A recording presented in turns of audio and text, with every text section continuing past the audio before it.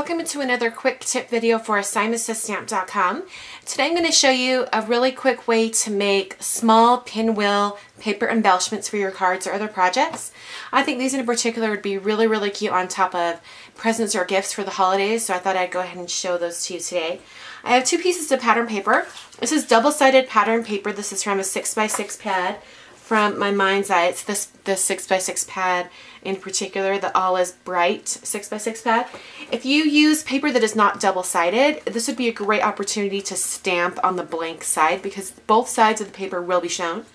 I started with a square that's three and three quarters wide by three and three quarters tall, and this one is four and a half tall and four and a half wide. So exact squares.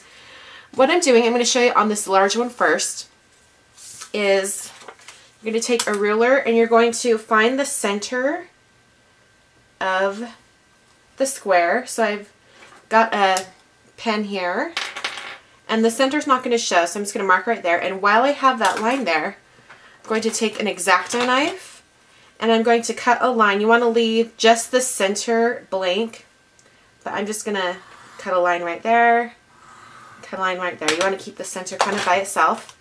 So I'll turn it this direction and I'm going to do the same on this side. And normally you would just mark the center and then go ahead and go back and cut your lines, but since we've got that ruler there, we're going to multitask and be more efficient and make all those cuts at the right time.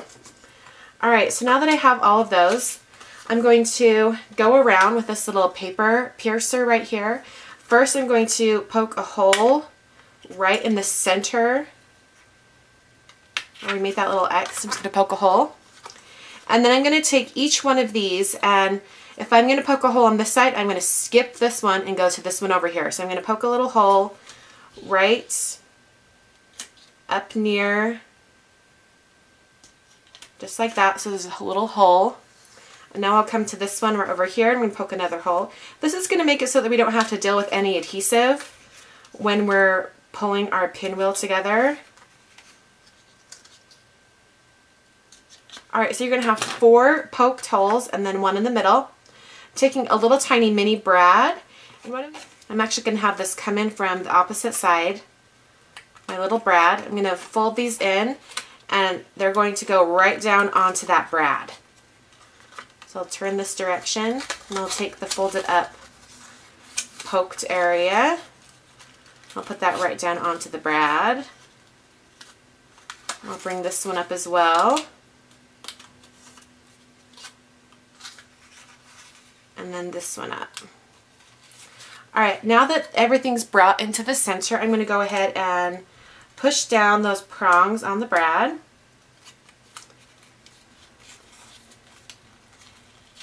And that's going to hold everything in place, and I didn't use any adhesive.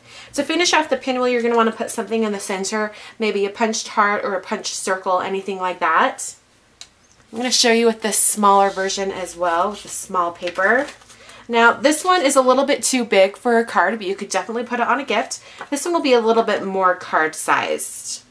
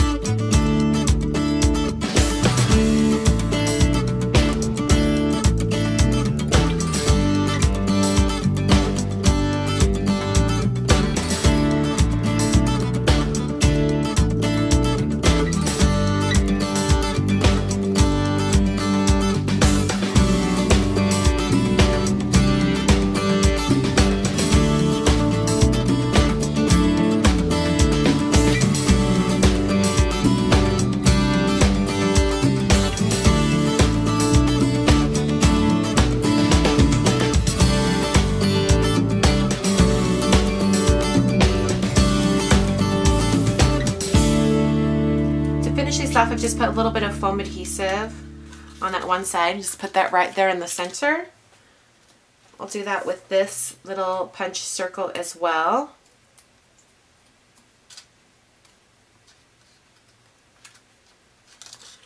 Alright, so there are some really simple pinwheels. So I hope that gave you an idea of how you can make some pinwheels for your projects.